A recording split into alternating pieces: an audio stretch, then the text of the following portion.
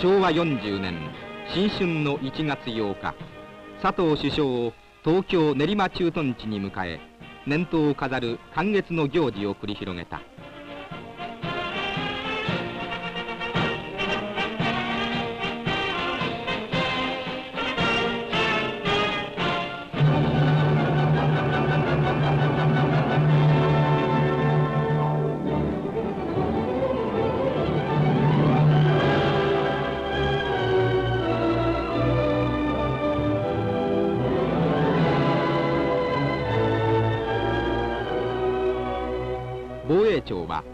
森陸幕長の退任に伴い天野義房陸幕副長を昇格。1月16日その着任式が行われた。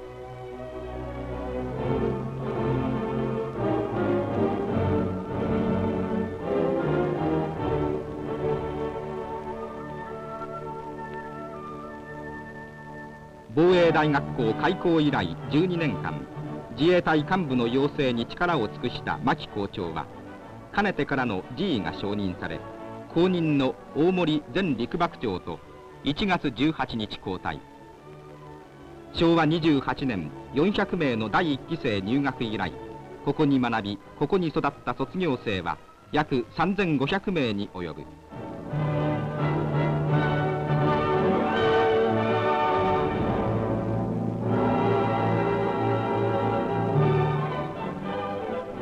感慨深い眼差しで見送りの大攻勢に応え牧前校長は校門を後にされた。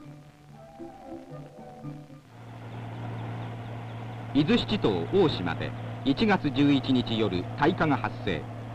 災害調査団は自衛隊ヘリコプターで急遽大島へ向かった。被災地の大島元町は強風と水利の悪さが重なり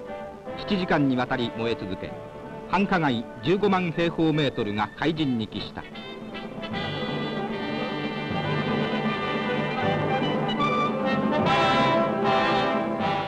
自衛隊の艦艇ヘリコプターは救援物資や全国から寄せられた見舞い品を繰り返し輸送。町の復興に努力する人々に協力した。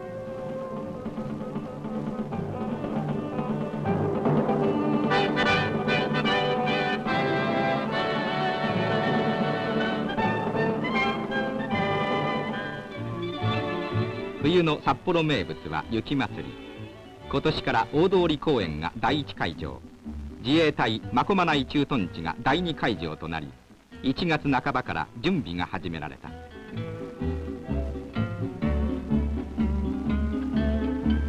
隊員たちのチームワークはいつもながら見事なもの。大阪城夢の超特急をはじめさまざまなテーマで隊員たちは雪の造形美術に真剣に取り組んだ。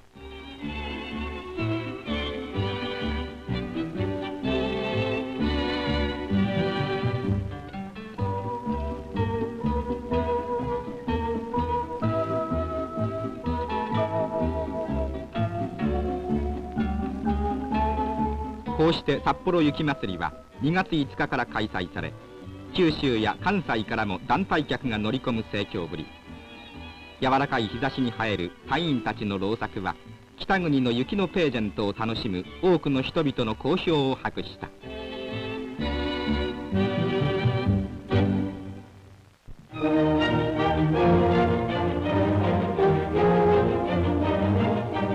2月10日衆議院予算委員会において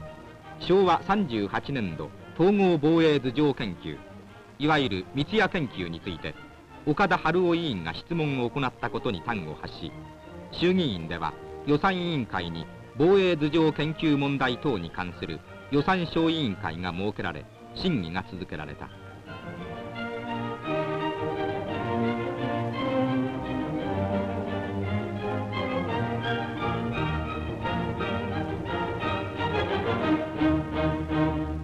この小委員会での審議の結果は5月31日松野委員長から予算委員会に報告された。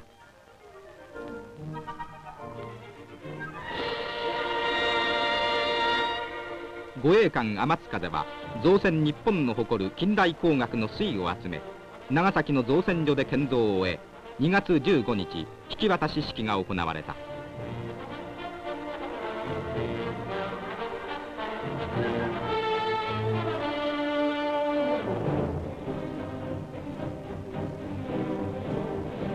天津風は重量3050トン最大速力33ノット。また初の艦対空ミサイルターターを装備。このターターはマッハ2のスピードで18.5キロを飛ぶ性能を備えている。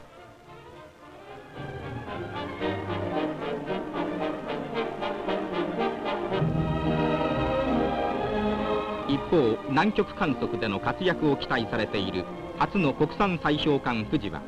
昨年9月着工以来鋭意建造が進められ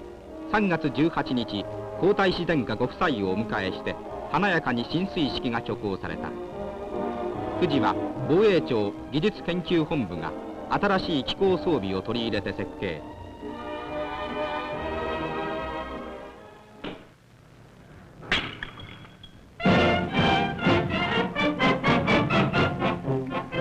長さ100メートルの艦隊は軍艦マーチとどよめく歓声に包まれて浸水。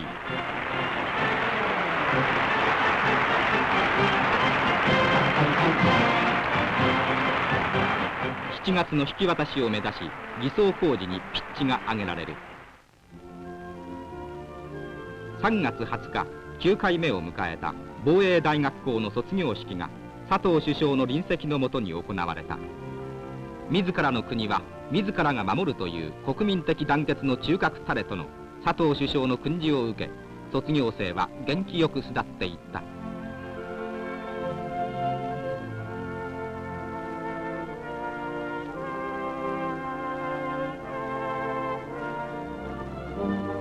婦人自衛官の卵看護学生第8期生の入学式は4月8日行われた。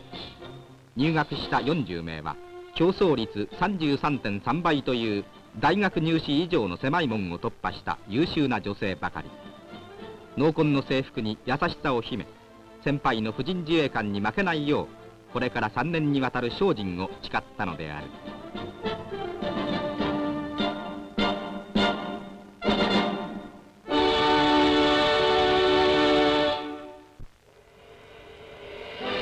北海道の陸上自衛隊。千歳部隊で4月8日地対空ミサイルホークが初公開された。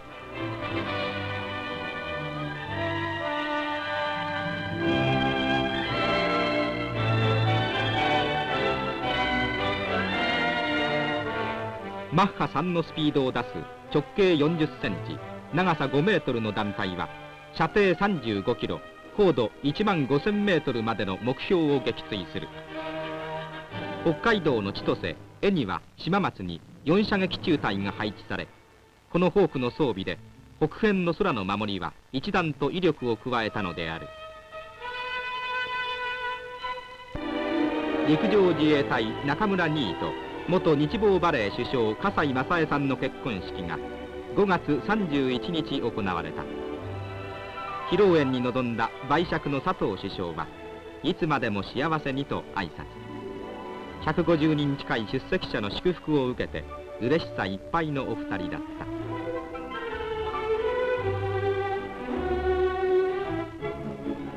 昨年11月池田内閣の後を受けてそのまま発足した佐藤内閣は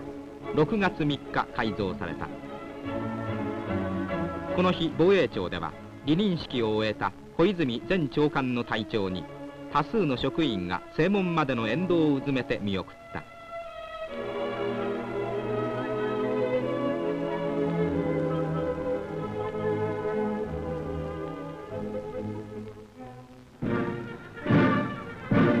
新たに防衛庁長官に就任した松野雷蔵氏は6月7日栄誉礼を受けて初登庁。着任式に臨んだ長官は幹部職員を前に国民に信頼されるよう各自が責任ある行動をとり団結と誇りを持って努力するようにと訓示した。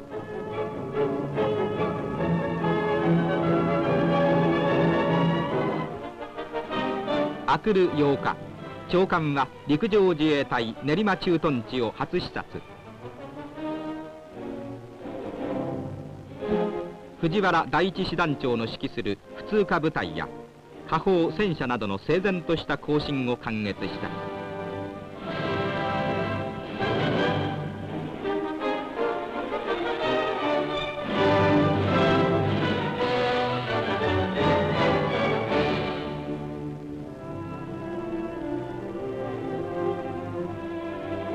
ついで10日には航空自衛隊浜松基地を視察。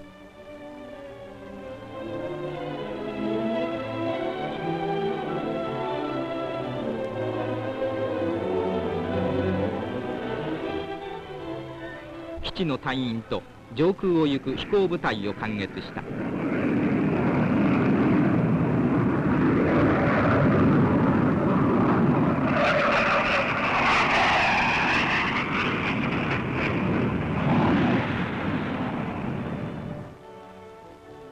6月17日には海上自衛隊横須賀地方総監部を視察。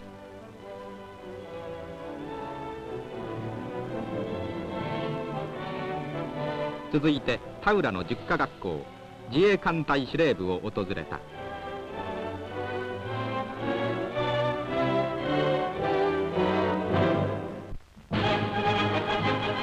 練習艦隊の遠洋航海は秋月を機関とする4隻の国産護衛艦で南米5カ国を歴訪。6月11日松野長官を迎え東京晴海で呉賀艦隊司令官以下実習員160名を含む1200名の執行式が行われた。南米諸国訪問も140日余りの日程も6万1000キロの行程も全て練習艦隊としては初めて。不当を埋めた見送りの人々に別れを告げ艦隊は宋都に着いた。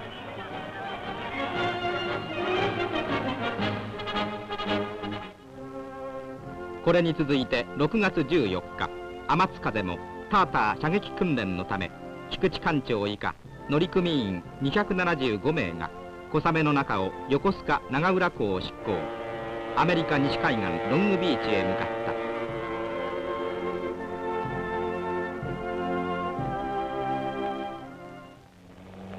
今年も北海道や東北地方を中心に例外と人手不足で作業が遅れる農家が続出。自衛隊に応援が要請された。これに応えて各地の部隊は5月下旬から地元の遠納を開始。隊員たちは10日から2週間近い作業の遅れを短期間に取り戻そうと慣れない作業に懸命。6月中旬までに延べ7万3000人以上が協力。農家の人々の感謝を集めた。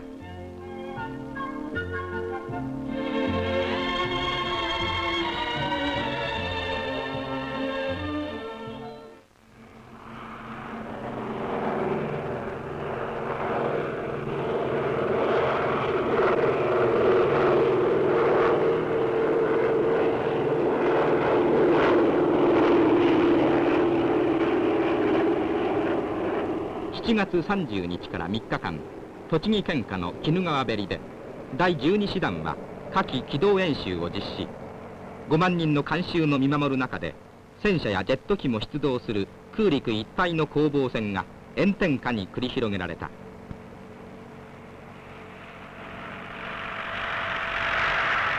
このようにして各部隊は盛況な自衛隊を目指し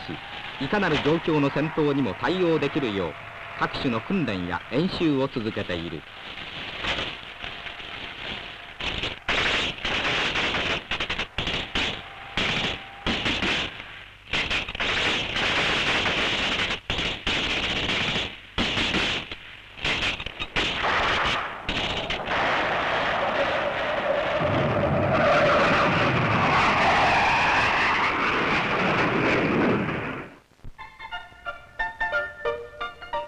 夏休みの間に自衛隊を理解してもらおうと今年も青少年を対象にした夏季教室などが各地で開かれた。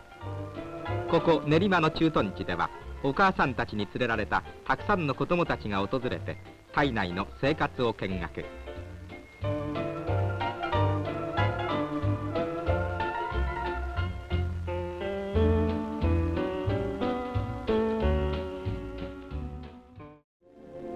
9月1日第6回日米安全保障協議委員会が開かれ椎名外相松野防衛庁長官内社は駐日大使シャープ太平洋軍司令官らが出席。国際情勢や日本の防衛問題を中心に双方の意見を交換した。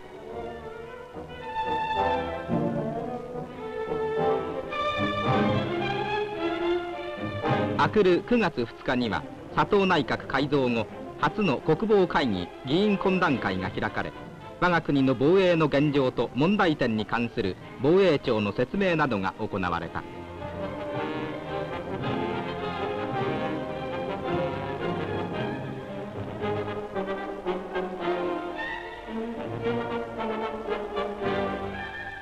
今年の自衛隊高級幹部会合は9月30日に開かれ出席した佐藤首相は自衛隊存立の基盤を再認識し隊員の強固な精神的団結を確立するよう要望。また長官は防衛力の内容充実とともに盛況な自衛隊建設のため幹部の愛情と理解ある指導厳正な規律の保持に努力するようにと訓示した。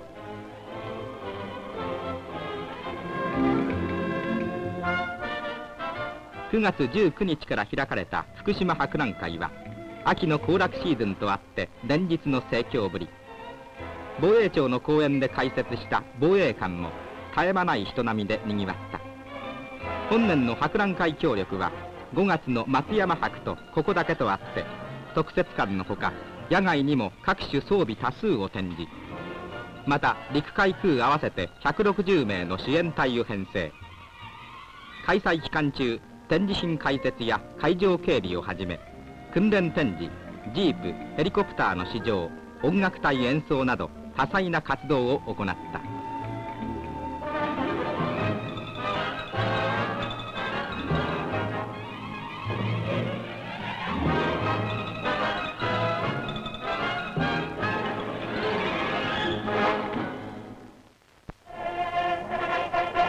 10月24日第20回国体秋季大会は岐阜市長良の陸上競技場で3万5千余の観衆拍手のうちに天皇皇后両陛下を迎え開会式の幕を開いた。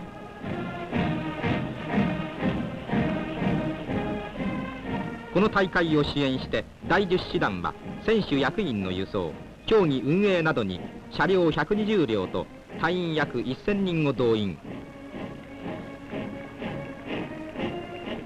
スポーツの祭典にはこのように自衛隊の支援は欠かせないものとなった。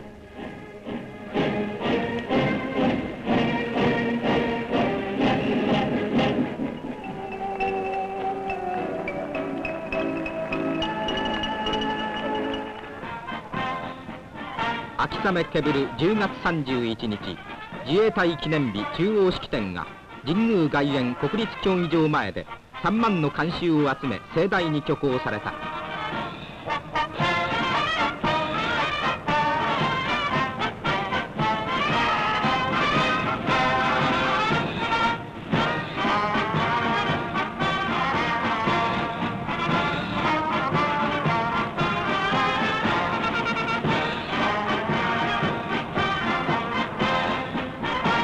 警察予備隊創設から現在の自衛隊に至るまで。若い隊員が使命を受け継ぎひたすら成長を目指してきたこの15年。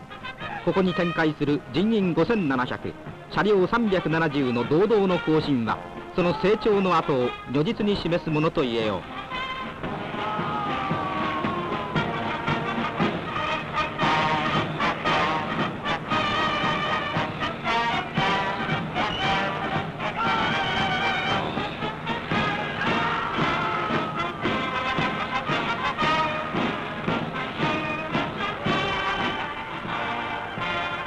国産対戦車ロケットマット。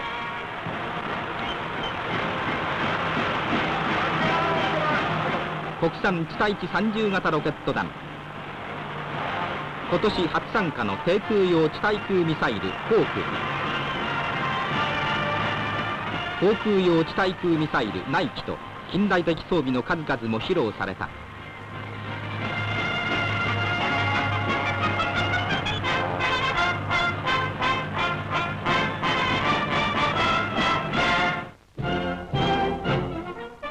海上自衛隊観艦式は11月3日。3700名を招待して秋晴れの大阪湾で行われた。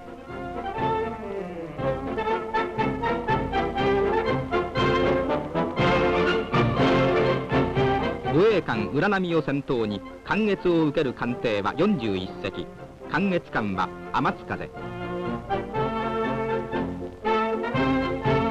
原則から桃源令を送る隊員に関月の長官も到令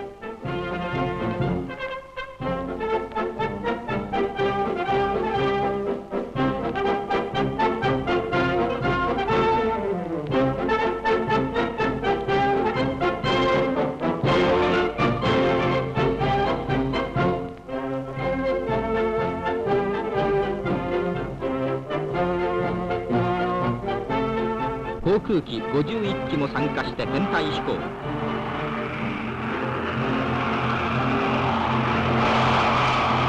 潮風に吹かれて爽快な海空いっぱいのページェントであった。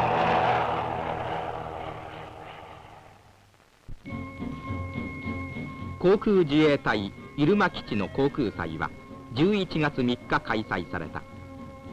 各種航空機の展示は毎回多くの人気を集めてきたが今年もまた広い基地内は15万人の人並みで埋められた。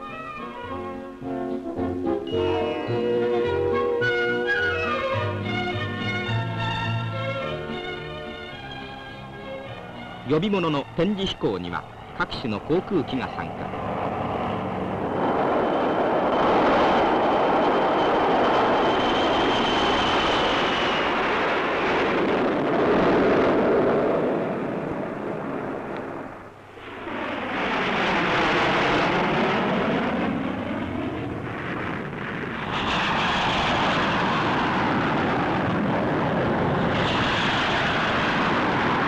ブルスのアクロバットの妙技も展開され観衆の目を心ゆくまで楽しませた。浸水以来4ヶ月の短時日で完成した砕氷艦富士の引き渡し式は7月15日。南極の気象変化に備えレーダーやソーナーを装備し6メートルの砕氷能力を持つ富士はここに海上自衛隊の所属となった。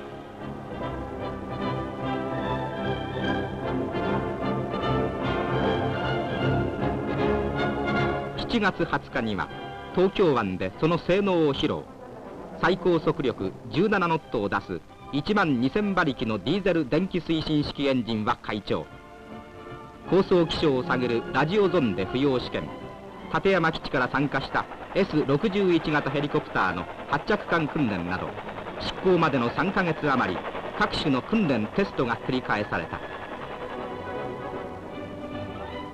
11月に入って機材物資の積み込みを終え越冬隊と功を共にするカラフト犬のブルとホセマスコットのペンギン夫妻も揃った。11月20日執行式。穏やかな秋日和に恵まれ東京晴海ふ頭は5000人に余る人並みで埋められた。乗組員観測隊合わせて227名。式は中村文章の挨拶で始められた。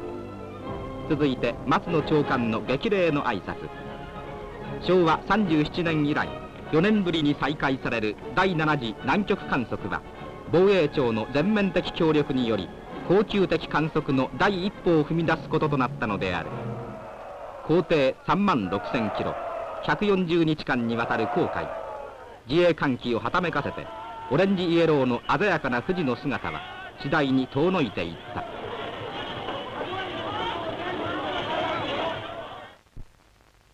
10月7日マリアナ海域のアグニガン島周辺で台風29号に巻き込まれ遭難した漁船捜索に海上自衛隊の P2V10 機と護衛艦5隻が出動。空と海とから約73万平方キロの海面の捜索が19日まで連日続けられた。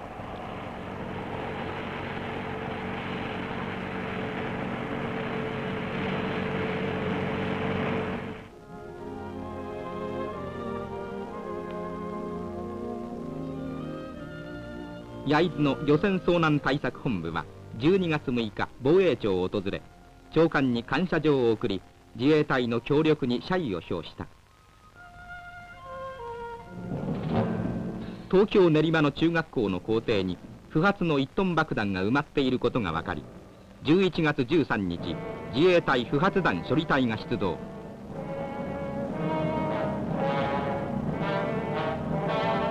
爆発したら半径500メートルを破壊するとあって地下水に悩みながら作業は慎重に進められた。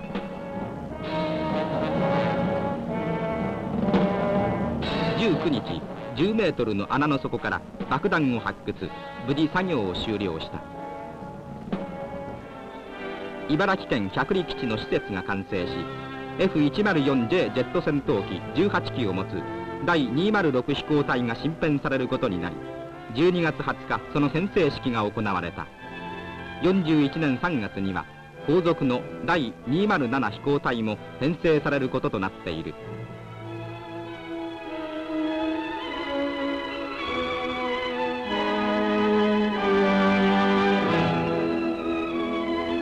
こうして我が国の独立と平和を守り国土の安全と繁栄を期するため防衛庁の努力は明日もまた休みなく続くのである。